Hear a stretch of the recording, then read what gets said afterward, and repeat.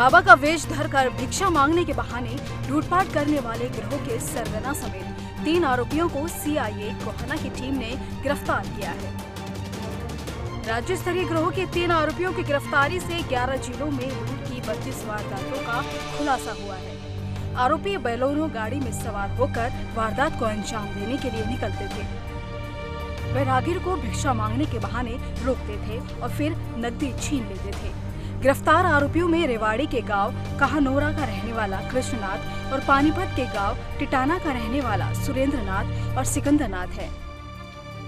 Police ने आरोपियों को अदालत में पेश कर तीन दिन के रिमांड पर ले लिया है। News desk.